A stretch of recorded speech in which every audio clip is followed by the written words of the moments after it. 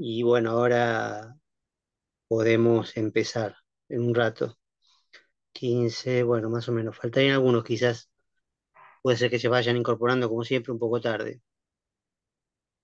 Eh, Vieron que les mandé a través del campus, porque eh, lo tenía justo abierto con una pregunta de uno de ustedes, y aproveché para mandarle a todos, porque hubo algunos cambios en el campus, algunos agregados de alumnos, qué sé yo. Entonces aproveché para mandar el mensaje respecto de la fecha del parcial, que sería el viernes 29. Eso ya lo dijeron, pero todavía no definieron la sede. Así que bueno, tenemos la mitad nada más. 29 ya está, eso sí, eh, pero la sede puede ser cualquiera, digamos. En general, como les dije varias veces, suele ser o Avellaneda o Paternal. Esas son las que nos han tocado en estos, eh, en estos años, ¿no? El año pasado y este, el primer cuatrimestre. Alternando, generalmente alternan una, porque tienen que suspender las clases de esa sede para que vayamos todos los de Montes de Oca, digamos, todas las materias de Montes de Oca durante todo el día. Entonces, eh, sí, bueno, eh, si algunos rinden en Avellaneda, seguramente ya si saben eso, probablemente tengan que rendir en Avellaneda. Casi seguro podríamos ir confirmar lo que es así. es lo más probable, sí, porque no hacen viajar, viajar de una sede a la otra, siempre y cuando sea, por supuesto, de ciclo básico, ¿no? Si fuera alguna materia, no, ahí ya sonaron, pero siendo de ciclo básico, generalmente lo que hacen es eh, combinar. Eh, así que bueno, casi, casi, sí, por eso, psicología, sí. Entonces, casi, casi está, estaría confirmado ahora por esta razón, digamos, no oficialmente, de que va a ser en Avellaneda. Pero bueno, cuando lo sepas, cuando me manden el mail a mí, les, les aviso a ustedes. Eh, lo lamento por mí, pero bueno, es, es un poco lejos de, de mi casa. Este, pero no, no, este, evidentemente no, no ha pasado que, que dividan así, digamos, que tengan que viajar de una sede a la otra, este, por lo menos que yo sepa, y menos en ese horario. Pero bueno, eso simplemente les quería decir como, para empezar, como faltan todavía algunos, qué sé yo. Eh, ¿Alguna pregunta que quieran hacer ahora para retomar? Yo les dejé algo para ver, pero ¿quieren alguna pregunta para retomar lo último? Porque recuerden que lo que vimos en la clase pasada es absolutamente esencial. ¿eh? Nos tomamos toda la clase para ver eso, pero ahora todavía vamos a seguir repasando un poco más todo eso.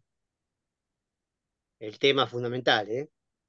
la arbitrariedad. Eso recuerden que es importantísimo y ahora lo vamos a retomar, pero yo lo que les había, eh, es todo esto es una trampa, ¿no? Porque eh, la pregunta que les dejé, aunque se haya cortado,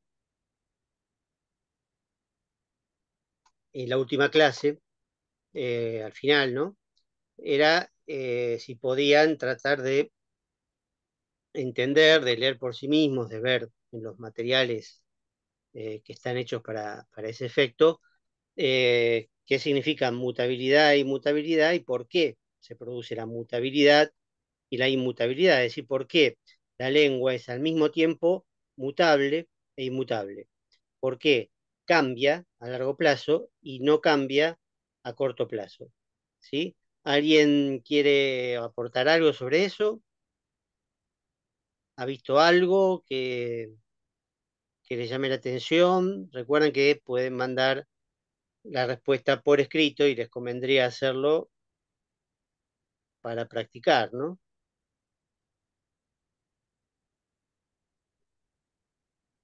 Este es un tema que en realidad lo fuimos viendo a partir de la, primera clase, pero desde otro punto de vista, ¿no?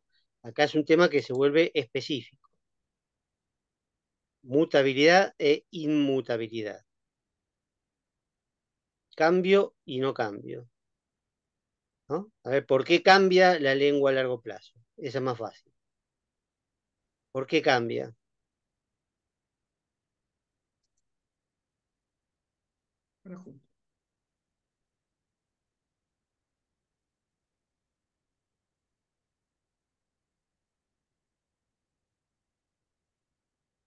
O acá, bueno, acá me dicen, eh, la lengua ya está impuesta desde que nacemos, no es mutable a corto plazo. No, no es, no es exactamente esa la razón que da Saussure.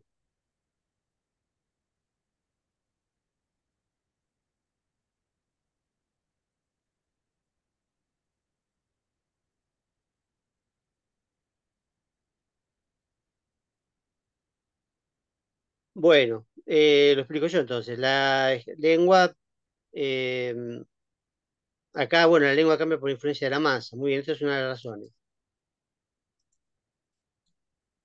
¿sí? Y esa es la razón más profunda, que cambie por efecto de la masa. ¿Qué otros factores hay?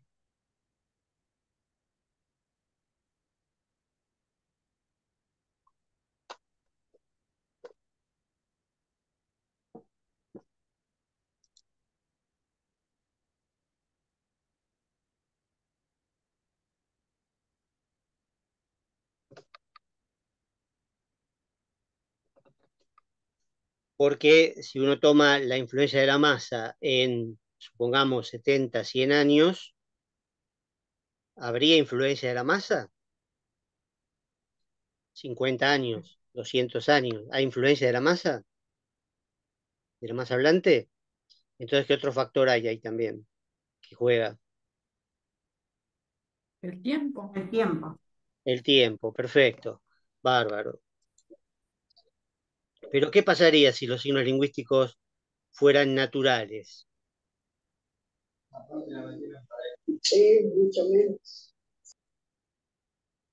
Si los signos lingüísticos fueran naturales, ¿qué pasaría?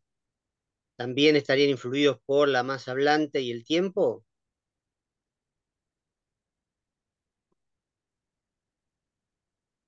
Por ejemplo, el humo como significante del fuego, ¿qué influencia tendría la masa o el tiempo sobre ese signo? O la fiebre como significante de una enfermedad. ¿Qué influencia tendría el tiempo sobre ese signo?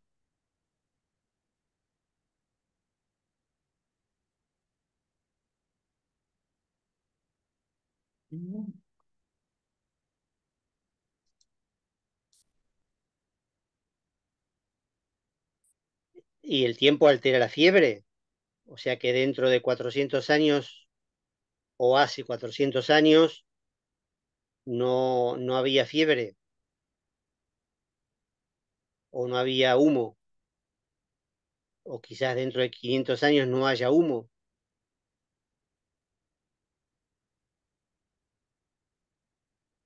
Simplemente porque pasó el tiempo.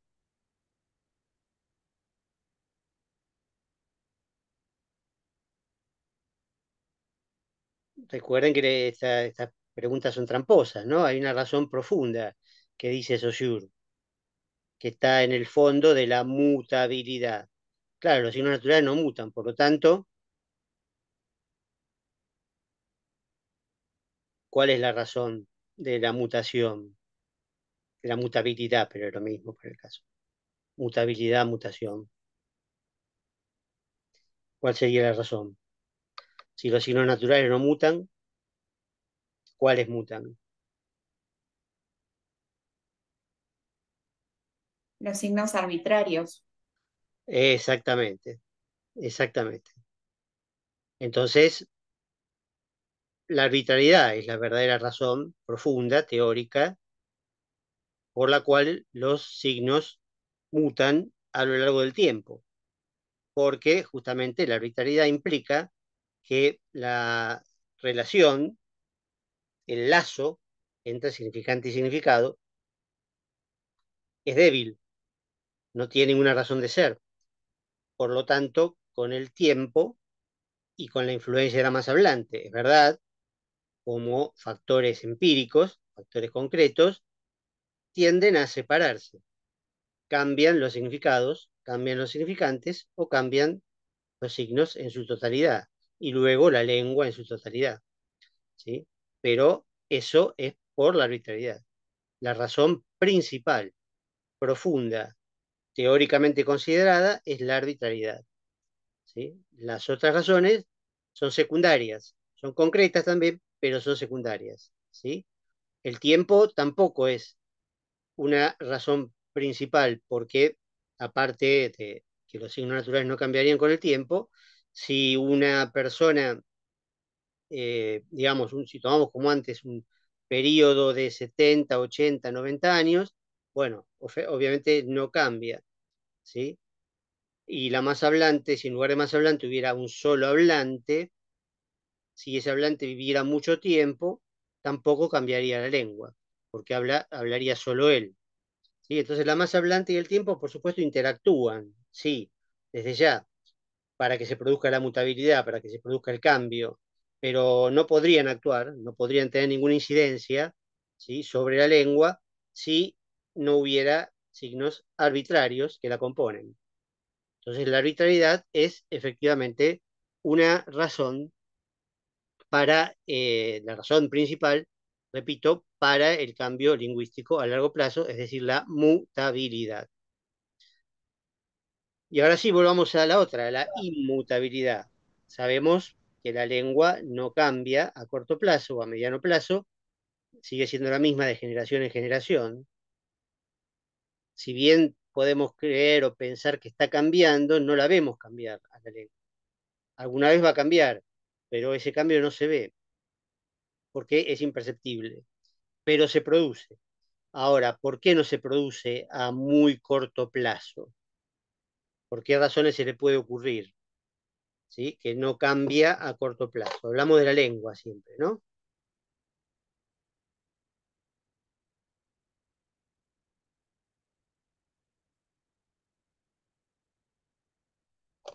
Perdón, profe, ¿puedo hacer una pregunta de lo anterior que, no llegué a hacerla?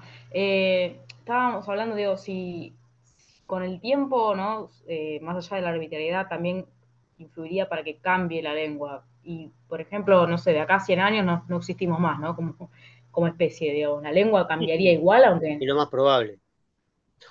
claro, pero no cambia.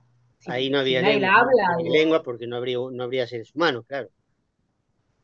O, por ejemplo, si el castellano se deja de usar, ¿no? Digo, si, si termina siendo una lengua muerta, por decirlo de alguna forma, tampoco cambiaría. Y eso es un cambio, claro, eso es un cambio.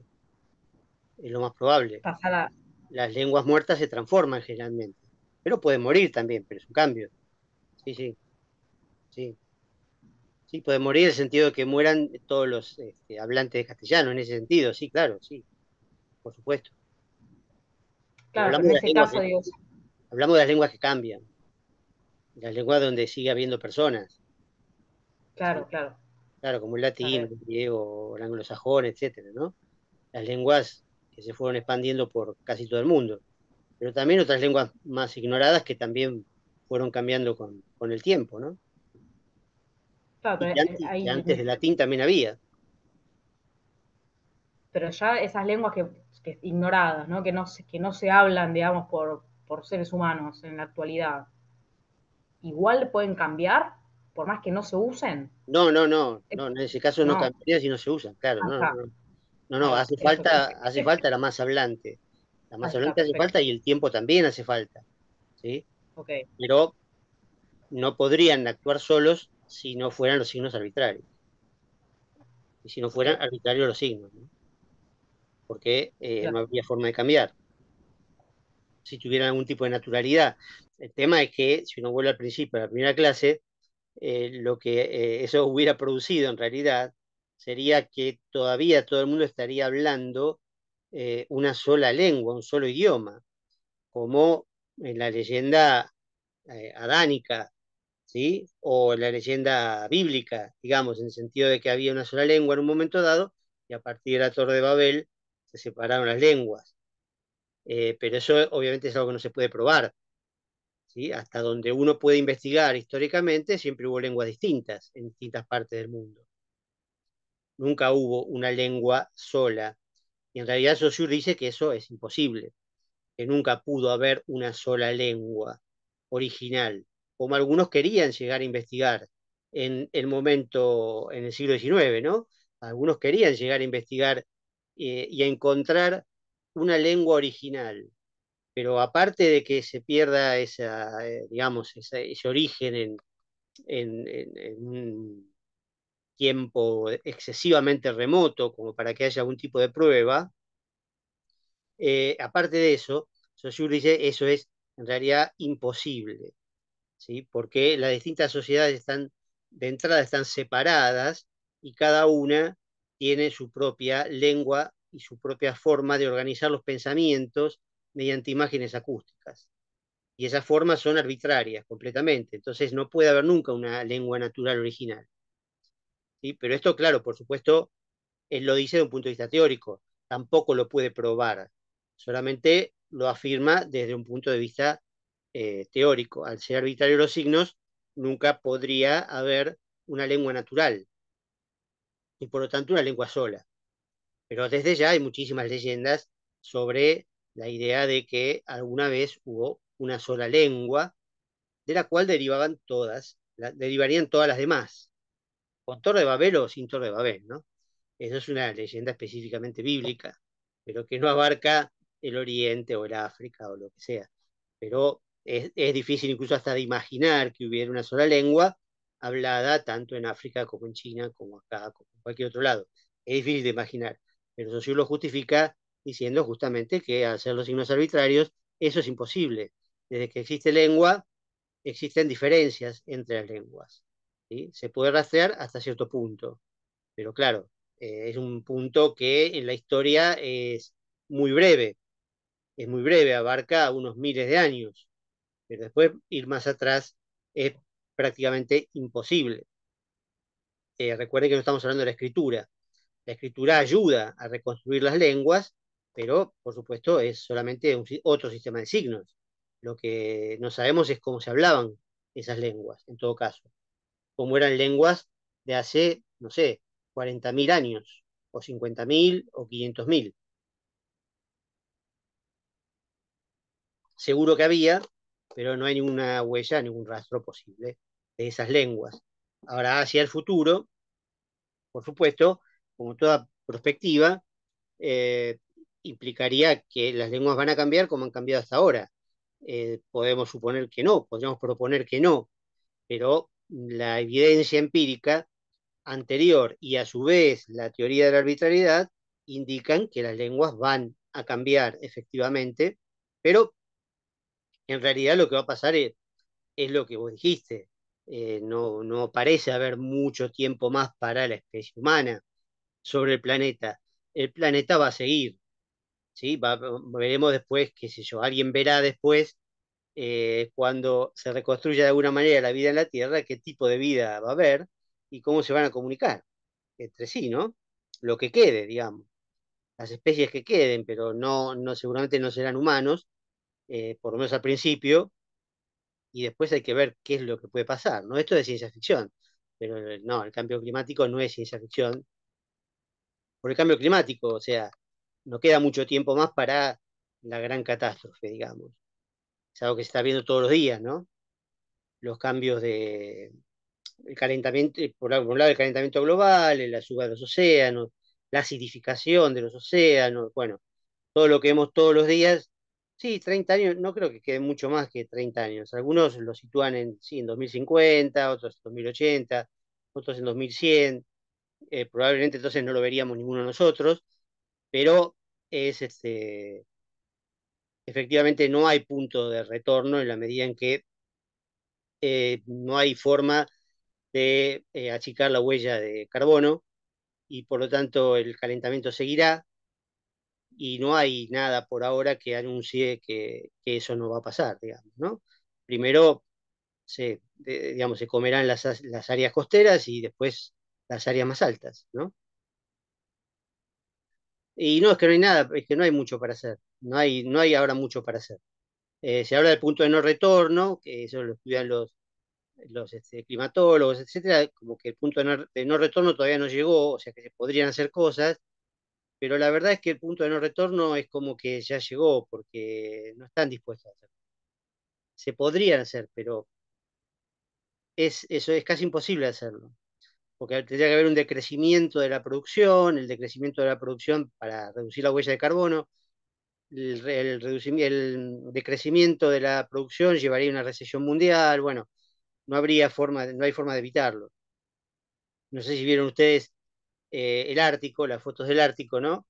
El Ártico en algún momento era un, casi un continente, ¿no? Por supuesto más chico que la Antártida, pero era casi un continente. Bueno, ya en la actualidad el Ártico no existe más, se derritió todo. Ahora se está derritiendo la Antártida también. Entonces, bueno, esos son algunos de los factores, ¿no? Y después, bueno, la acidificación de los océanos está matando miles de especies eh, por año. Y eso también eh, contribuye a que toda la cadena alimenticia se vea afectada. Y en algún momento eso va a llegar también hacia eh, los seres humanos, etcétera, ¿no? Como decía, primero las áreas costeras seguramente van a quedar afectadas, quedarán las áreas más altas, pero después también, bueno, las áreas más altas también van a pasar cosas, ¿no?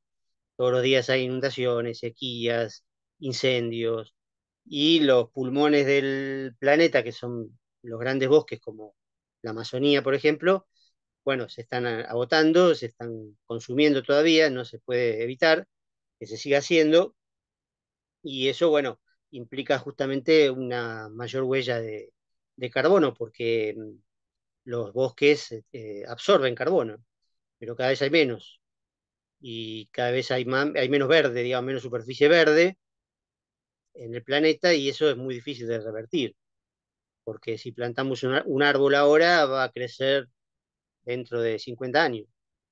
Entonces, puede haber tiempo, puede no haber tiempo. El problema es que no estamos plantando árboles. O sea que por más que especulemos sobre si se plantan árboles o no, bueno, pues no lo estamos haciendo. Si plantáramos millones de árboles, en lugar de seguir deforestando y seguir destruyendo eh, la Amazonia, bueno, por ahí habría una esperanza, pero no lo estamos haciendo. Entonces, es especulativo decir que va a haber más bosques dentro de un tiempo. No, no, no va a haber más bosques. Este, así que la biosfera en general está en estado eh, calamitoso y no está como para resistir eh, mucho más tiempo, digamos, ¿no? Este, después, bueno, están las enfermedades, etcétera, que ya tuvimos un ejemplo hace unos años y que se van a seguir multiplicando, por supuesto, por, por varias razones. Y bueno, todos esos factores son, son mucho más, ¿no? Hay 14 factores eh, claves. De esos 14 factores este, claves, terminales, bueno, es cuestión de ver cómo se combinan para la catástrofe final, ¿no? Y el tiempo no se puede calcular, por supuesto, pero el problema es que no hay, no hay problema de revertir. Eh, si la producción sigue aumentando, con eso sigue aumentando el uso de combustibles fósiles y por lo tanto la huella de carbono. la conversión verde, eh, la conversión a combustibles este, no fósiles, eh, va muy lenta. Va muy lenta y no, no parece ser este, algo muy cercano, ¿no? Como para que este, no, no se siga produciendo más huella de carbono. Entonces, todo eso indicaría que no, no hay un buen, un buen pronóstico este, para estos factores, ¿no? Para este tipo de cosas. Pero bueno, nos fuimos un poquito de tema. Este, eh, volvemos entonces a, la pregunta que había hecho antes respecto del cambio. Eh, bueno, el cambio ya lo vimos, el no cambio a corto plazo. ¿No? ¿Qué pasa entonces con eh, la lengua en cuanto a su inmutabilidad a corto plazo? ¿Por qué ocurre eso? Es una institución, posee reglas, la lengua escrita hay que olvidarla porque no estamos hablando de eso. Es una institución y posee reglas. Eso es una razón que puede ser interesante. Las instituciones, como habíamos visto al principio en la primera clase, no eh, tienden a, durar, ¿no? Y ahí son difíciles de cambiar, eso es cierto. Eso es cierto. Si bien no lo menciona Saussure, es cierto. Se podría agregar, ¿no? Pero ¿qué, tipo de qué otros tipos de características tiene la lengua que la hacen también difícil de cambiar?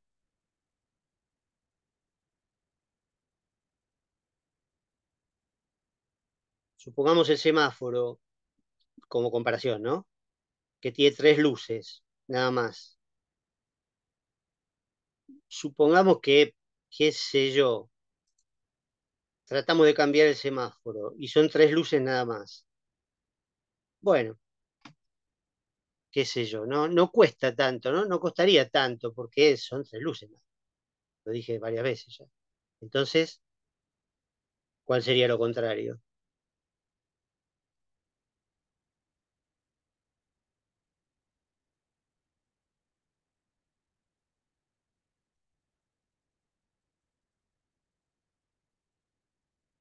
No, no me refiero al, semáforo, sino a la lengua. La lengua porque es lo contrario del semáforo. Si el semáforo tiene nada más que tres luces, tres signos, ¿no?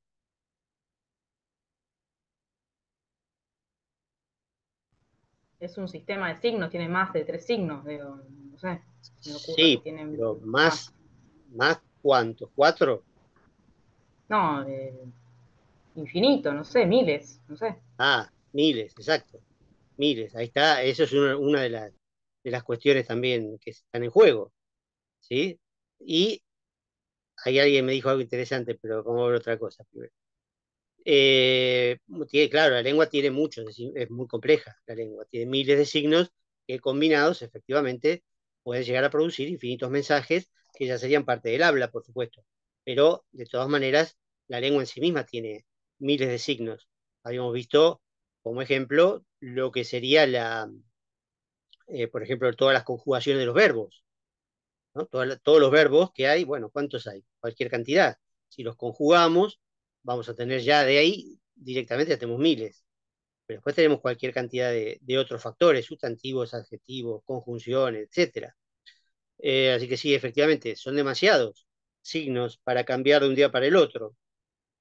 Y además, si, consideramos que de alguna manera la lengua sirve para comunicarse, que esto es dudoso, pero de todas maneras ya lo vamos a ver más adelante con otro autor, ¿no? Si, si la lengua sirve para comunicarse o para otra cosa mucho más profunda, eh, de todas maneras, eh, claro, sería raro comunicarse, o bastante difícil comunicarse si la lengua estuviera cambiando todo el tiempo, si cambiara rápidamente porque obviamente las personas estarían hablando distintas lenguas al mismo tiempo. Acá mismo estaríamos quizás hablando distintas lenguas, porque algunos hablarían una lengua y otros hablarían otra, ya. O una que está muy, muy a punto de cambiar y otra que permanece muy igual a la anterior. Y esto no tendría mucho sentido en función de la comunicación, evidentemente. Sería como estar hablando lenguas distintas todo el tiempo y además aprendiendo lenguas distintas todo el tiempo, cosa que es absurdo, no pasa, salvo que uno quiera aprender, por supuesto, lenguas extranjeras, ¿no? Eh, lenguas ajenas, que puede hacerlo, pero tampoco es fácil. Tampoco se aprende una lengua extranjera fácilmente. Imagínense si es la propia lengua la que cambia de un día para el otro, o de un mes para el otro, de un año para el otro, o de 20 años para el otro, para los otros 20 no, eso no, no sonaría demasiado posible, ¿no? Pero acá alguien dijo algo que es clave. El cambio tiene que ser razonable. ¿Sí? Claro, supongamos que nos ponemos todos a tratar de cambiar el castellano, ¿sí? Más allá de la cantidad de eh, signos que hay. Tal cual. Hay muchos signos. Es muy difícil porque hay muchos. Pero ¿sobre qué base cambiaríamos el castellano? ¿No? Como acá dice la compañía, tiene que ser razonable. ¿Y qué razonabilidad tiene la lengua? ¿La lengua es razonable? ¿Los signos lingüísticos son razonables? No, tal cual. Entonces no hay ninguna base sobre la cual cambiar la lengua en un periodo más o menos relativo, relativamente rápido, y donde podamos, ponernos de acuerdo. ¿Sí? Porque, eh, volviendo al semáforo, hasta cierto punto, podríamos ponernos de acuerdo, no nosotros acá, si en, no en una sociedad determinada donde el semáforo tiene ciertas características. Podría llegar a cambiarse, ¿sí? Porque si bien son arbitrarios, por supuesto, desde ya, ¿sí? Y son tres nada más, se podría cambiar los colores del semáforo más o menos rápidamente, digamos, hasta llevaría mucho menos tiempo a la sociedad adaptarse a ese cambio. ¿sí? Efectivamente, pero igual, de cualquier manera, aunque sean tres, y la lengua sean muchos, ¿sí? igual tendríamos un problema, porque ¿cómo elegimos qué significa parar en lugar del rojo? ¿O qué significa seguir en lugar del verde? ¿Sí? ¿Qué les gustaría, por ejemplo, en lugar del rojo? Claro, ¿cómo nos pondríamos de acuerdo? Eso es lo que estoy preguntando. ¿Qué les gusta en lugar del rojo? Y a cada uno supongo que le gustará otra cosa. ¿Sí? Pero no hay ninguno que sea mejor que el rojo.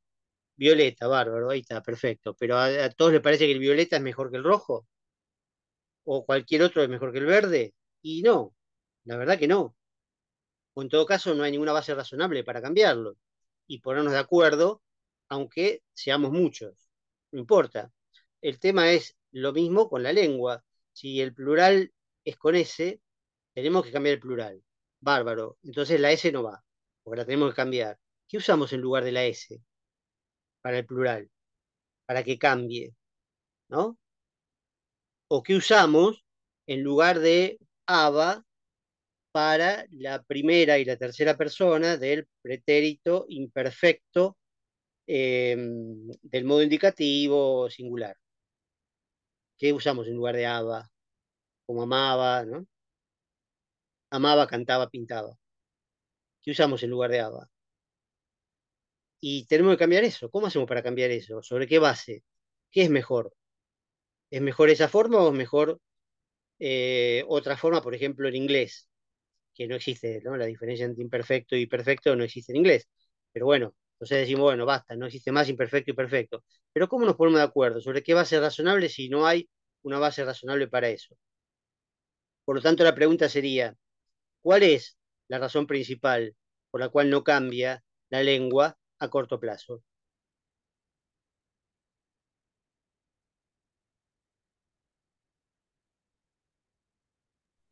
Es una convención que se hereda socialmente.